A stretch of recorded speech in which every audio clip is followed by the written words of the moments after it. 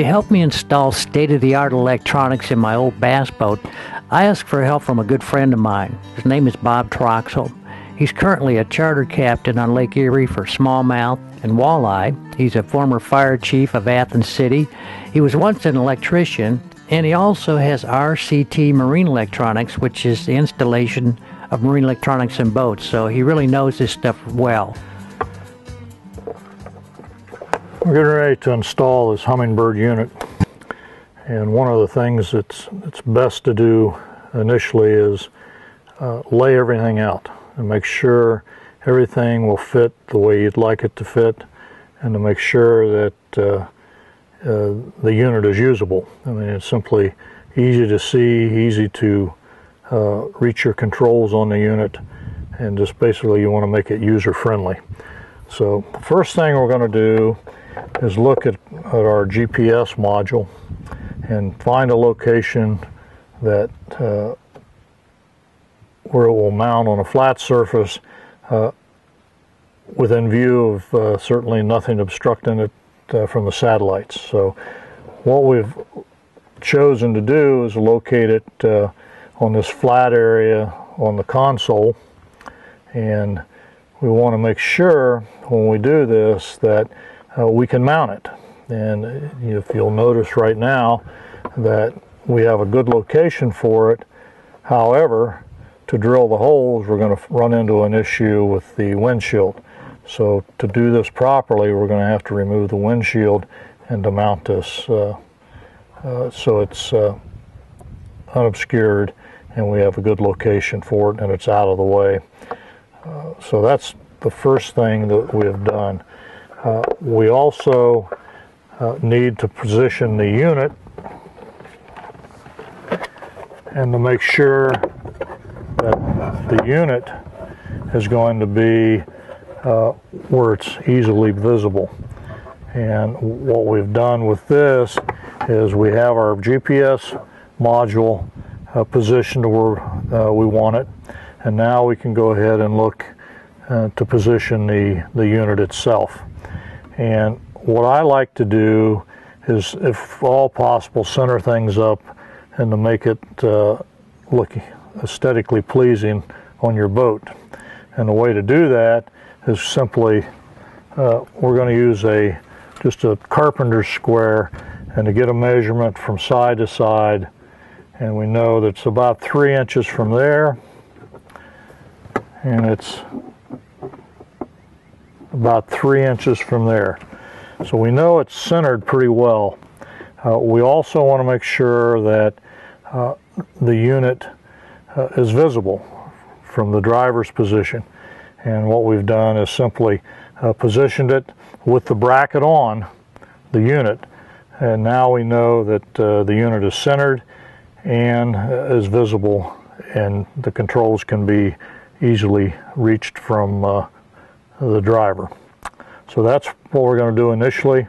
When we get the units mounted, then we'll start running the control cables uh, to that unit. The first step was drilling holes for the GPS antenna. We applied silicone to the holes and to the screws before we mounted the antenna. The final step was to secure the antenna with screws. We also drilled holes for the bracket that would hold the unit in place. Again, we use silicone on the screws to prevent leakage in the holes.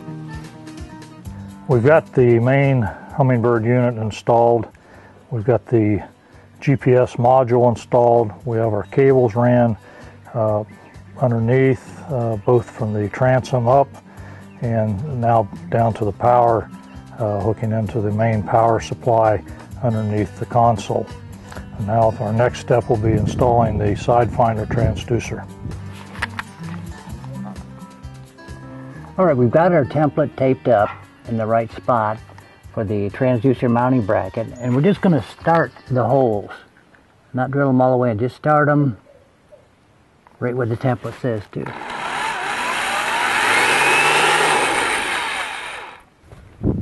Okay now that we know the holes are in the right place we're going to drill them to a depth of about one inch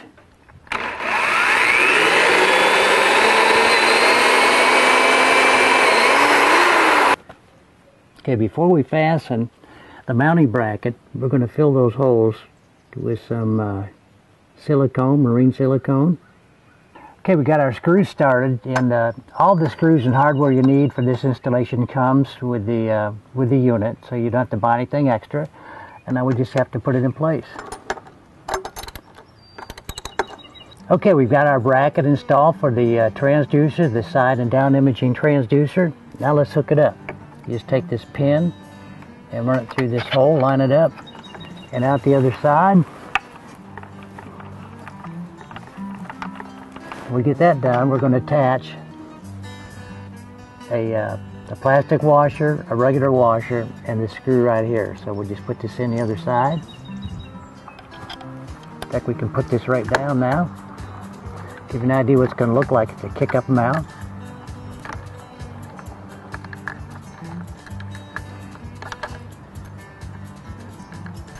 And when we tighten that down, we're going to have it in place.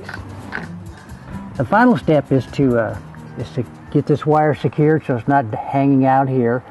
Uh, I could drill a hole and run it through the transom, but I, I think everybody who ever owned this boat drilled holes in it as a rite of passage, and I'm just, I don't want to drill any more holes in it. So I'm just going to run it up through that sleeve uh, where the cables and, and the steering mechanism goes out for my outboard and uh, I'm just going to fix it here. Now these fasteners, uh, they come with the unit, so you don't have to buy anything as with the screws. So I'm going to drill holes, uh, put some silicone in there, and secure uh, this cable. In order to get bottom readings when you're running on plane, you need to have a transducer that shoots through the hull. I got this one from Humminbird that has everything I need, including the two-part epoxy to glue it to the bottom of the hull. I was able to find a place on the running pad near the transom where I could install the transducer to shoot through the hull. As you can see, it has got years of grease and grime that has to be cleaned. I used Starbright's Extreme Clean cleaner and a stiff brush to do so.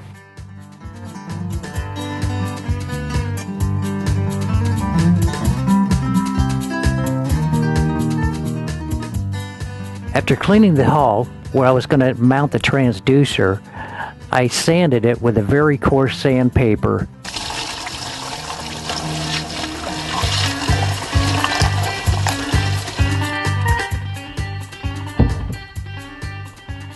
Okay, we've got our epoxy mixed. Now what we need to do is, is spread epoxy on the bottom of the puck. Get nice and even on there.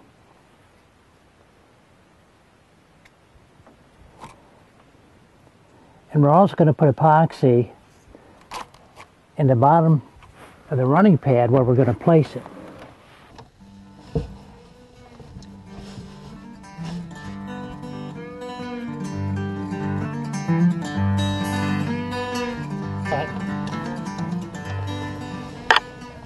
We're going to twist it, twist it into place.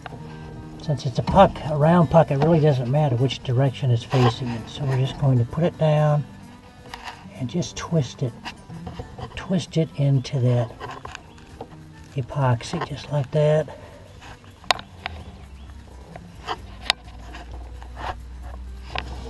And now I'm going to get a very high-tech piece of equipment. It's called a brick. And I'm going to set that brick on there if it can fit let the whole, the whole thing dry. Thanks to my preparation, this installation is held up through pounding boat rides on Lake Champlain and on Lake Erie. Before I installed the Humminbird unit on the bow of my old bass boat, I had Bob move it around so I could find the best position. A flush mount worked best for me.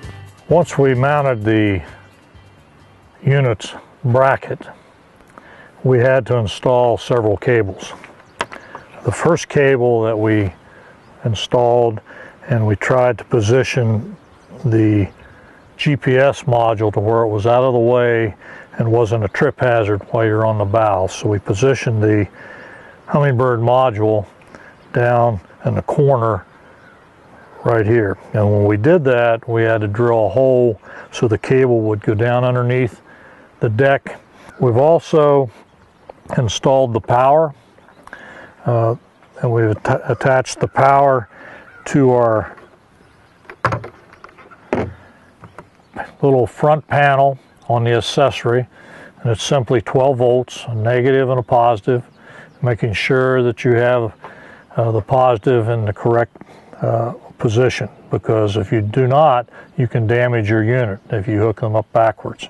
So we have our cables uh, installed, which should have be a total of four. Your, your Ethernet, your transducer, your GPS, and your power cable. Here's the bow unit fully installed. As you can see, all the wires and cables are under the deck. It's very uncuttered and a nice clean look. I wanted to make sure that my wiring under the console wouldn't let me down while I was fishing. The first thing I did was remove the circuit breakers.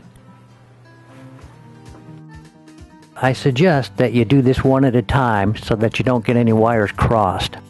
The circuit breakers were badly corroded. I could have cleaned them and put them back, but I found replacement breakers of the same model and the same brand, so I bought new ones. I decided to keep the switches, but I wanted to clean the terminals. Here again, I removed them one at a time to avoid switching wires and confusion.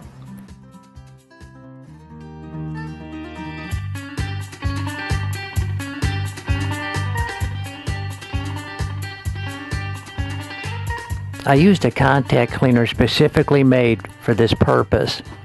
I sprayed the cleaner on the terminals after removing them and then pushed the terminals on and off their connectors to clean them and to make sure I was getting a good connection. After we hooked the Humminbird up to my power switch, the main power switch, um, we ran into a problem. It wasn't getting a full 12 volts. In fact, sometimes there would be less than 11 volts going to that depth finder. And these, these depth finders today, these graphs, they need 12 volts or they're not going to run right. Uh, this wouldn't even start sometimes. So did a lot of finagling around trying to find what the problem was. And I finally uh, fixed it by just connecting a wire directly from my battery to the depth finder here and the one up front too. And as you can see now, I've got over 12 volts just sitting here without the motor running, which is where it should be. And when I'm idling, I'll be up over 13 volts. Uh, so now I have no problems at all with the power. And after going through that, I would suggest with an old boat especially, I would just connect these, uh, these high-power depth finders, GPS graphs, directly to your battery and forego all the wiring, uh, which could rob the power.